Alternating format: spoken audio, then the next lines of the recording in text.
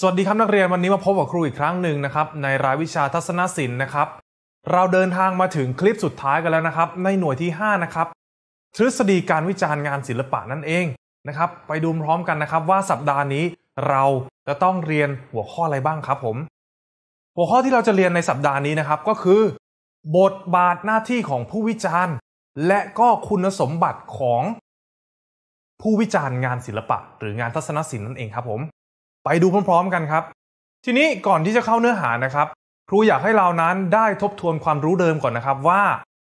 หลักการวิจารณ์ศิลปะของ Edmund Feldman เนี่ยมีอะไรบ้างนะครับ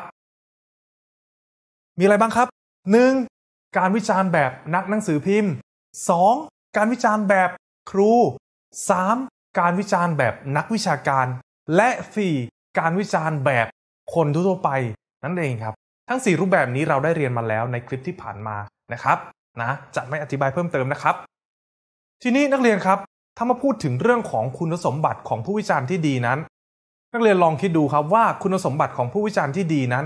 ควรจะมีอะไรบ้างนะครับ ควรจะมีอะไรบ้างนะครับ มันมีอะไรบ้างไปดูพร้อมๆกันครับ ครับ คุณสมบัติของผู้วิจารณ์ที่ดีนั้น แน่นอนครับ เราวิจารณ์เรื่องอะไรเราต้องมีความรู้ในเรื่องนั้น เพราะฉะนั้นการวิจารณ์งานศิลปะ เราจะต้องมีความรู้พื้นฐานของศิลปะในแต่ละแขนงนะครับ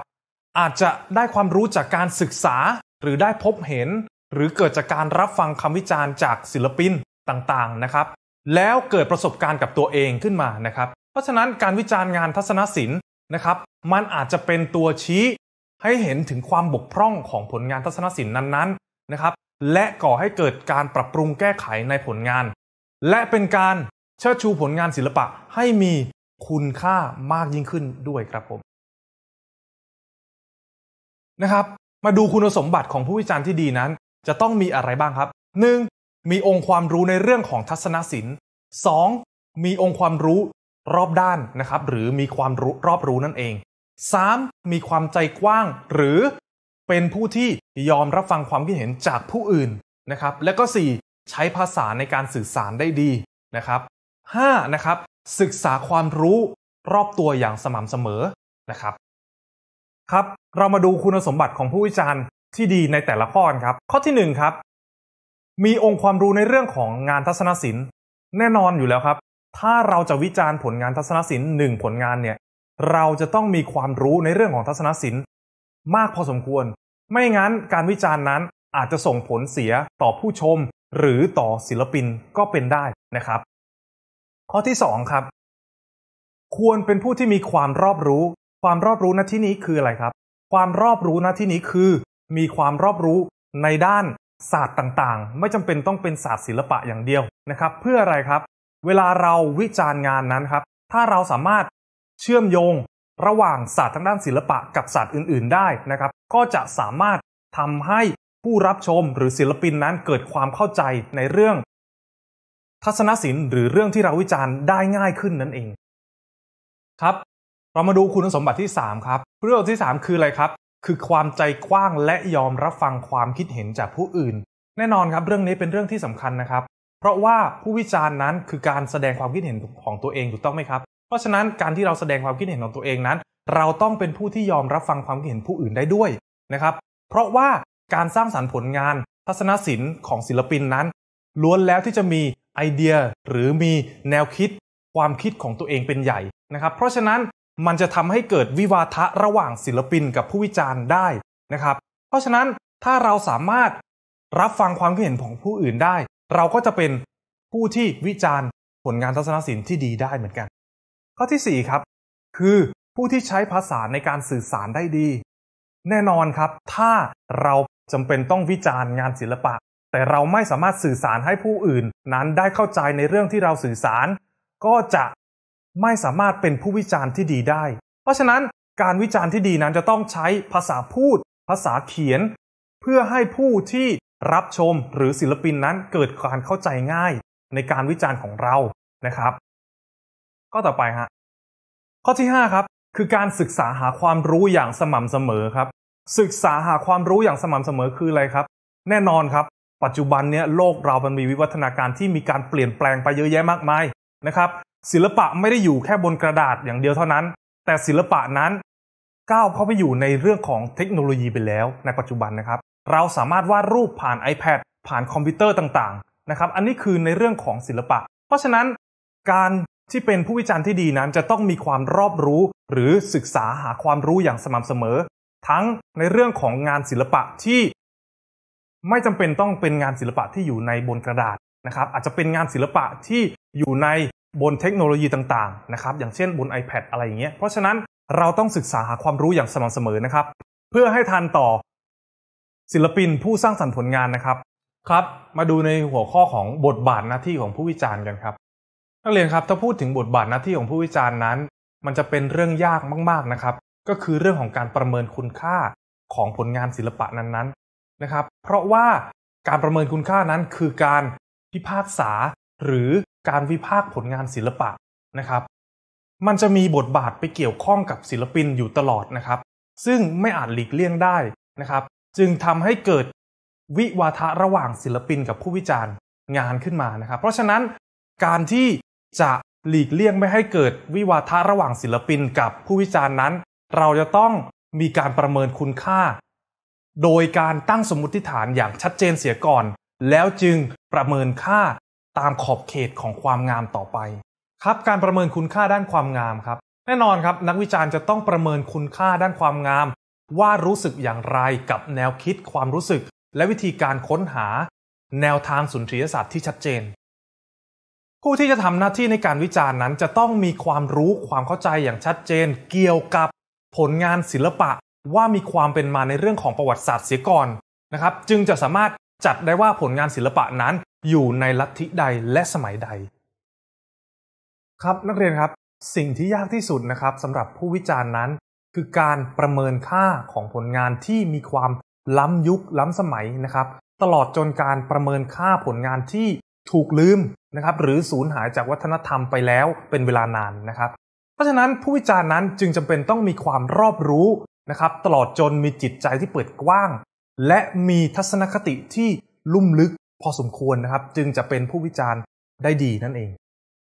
เอาละครับนักเรียนหลังจากหลังจากที่เราได้เรียนเนื้อหากันไปแล้วนะครับ เรามาสรุปความรู้ความเข้าใจกันนะครับ ว่ามันมีอะไรบ้างนะครับ คุณสมบัติของผู้วิจารณ์งานที่ดีนั้นจะต้องมีอะไรบ้างครับ จะต้องเป็นผู้ที่มีความรู้ในพื้นฐานของศิลปะ มีองค์ความรู้ในเรื่องของงานทัศนศิลป์นะครับ มีความรอบรู้ใจกว้าง ยอมรับฟังความคิดเห็นของผู้อื่น และเป็นผู้ที่สามารถใช้ภาษาในการสื่อสารได้ดี รวมทั้งศึกษาหาความรู้อยู่อย่างสม่ำเสมอเรื่องที่สองครับบทบาทหน้าที่ของผู้วิจารณ์ครับ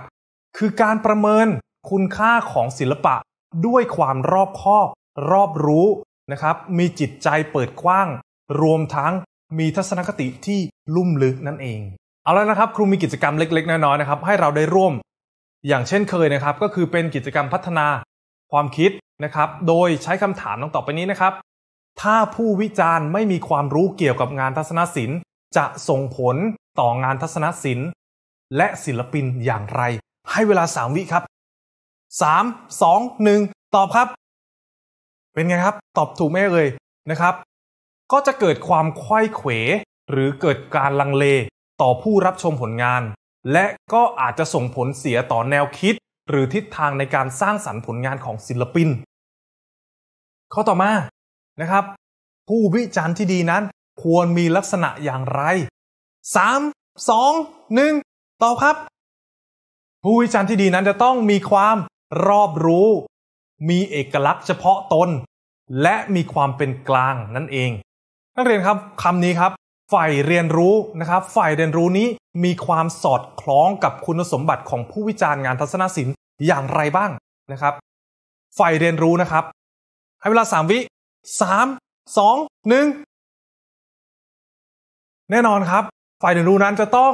เป็นนักวิจารณ์ที่มีการศึกษาหาความรู้อยู่ตลอดเวลา เพื่อที่จะเป็นข้อมูลในการวิจารณ์ผลงานในครั้งต่อๆไปนั่นเองเอาละนะครับนักเรียนครูมีกิจกรรมเล็ก ๆ น้อยๆให้พวกเราได้ร่วมสนุกอีกกิจกรรมหนึ่งนะครับ เป็นกิจกรรมการคิดวิเคราะห์นะครับ ซึ่งจะให้นักเรียนเนี่ยวิเคราะห์คุณสมบัติของผู้วิจารณ์ และบทบาทหน้าที่ของผู้วิจารณ์ ว่ามีลักษณะอย่างไร ลงบนในแผ่นภาพที่กำหนดทางด้านขวามือนะครับ ซ้ายมือก็จะเป็นคุณสมบัติของผู้วิจารณ์ ขวามือก็จะเป็นบทบาทของผู้วิจารณ์นะครับ ทำได้เลยครับผม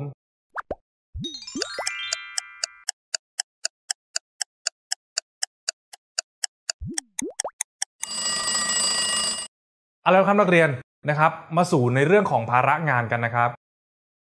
ครูจะให้นักเรียนเนี่ยเลือกผลงานการวิจารณ์ในคลิปที่แล้วมา 1 ชิ้นที่นักเรียนชื่นชอบนะครับ แล้วให้เรานั้นพิจารณาดูนะครับว่าผู้วิจารณ์นั้นมีคุณสมบัติอย่างไร และใช้ หลักการในการวิจารณ์ผลงาน ทัศนศิลป์อย่างไรบ้างนะครับ ดังตัวอย่างทางด้านขวามือนี้นะครับ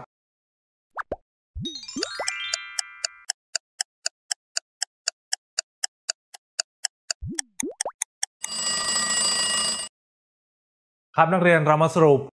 หลักการหลังการปฏิบัติกิจกรรมกันนะครับ นักเรียนครับ การที่เรานั้นได้เรียนรู้เรื่องคุณสมบัติของผู้วิจารณ์งานทัศนศิลป์ และบทบาทหน้าที่ของผู้วิจารณ์กันไปเรียบร้อยแล้วนะครับ แน่นอนครับมันจะเป็นผลทำให้ผู้เรียนนั้น มีความรู้ทั้งในด้านการปฏิบัติที่มีมาตรฐาน และเป็นทฤษฎีสำคัญที่จะนำไปสู่ในตัดสินผลงาน และประเมินคุณค่าของผลงานศิลปะนั้นๆนะครับเพราะฉะนั้นผู้เรียนนั้น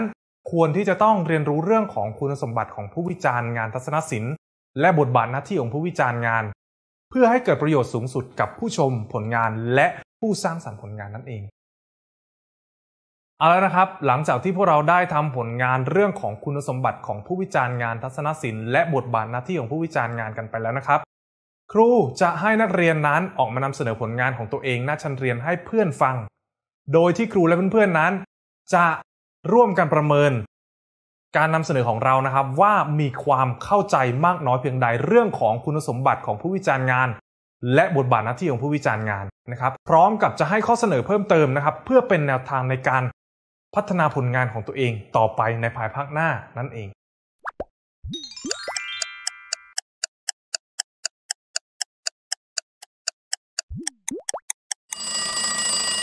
เอาละครับนักเรียนหลังจากที่พวกเราได้เรียนรู้เรื่องของคุณสมบัติของผู้วิจารณ์งาน และบทบาทหน้าที่ของผู้วิจารณ์งานกันไปเรียบร้อยแล้วนะครับ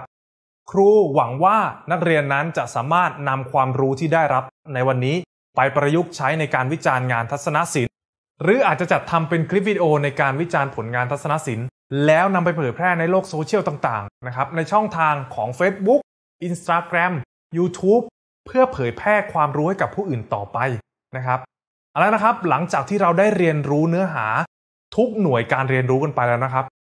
ครูก็หวังว่าเราจะมีโอกาสได้พบกันใหม่ในโอกาสต่อไปนะครับสำหรับคลิปนี้ครูขอลาไปก่อนนะครับ แล้วเจอกันนะครับบ๊ายบาย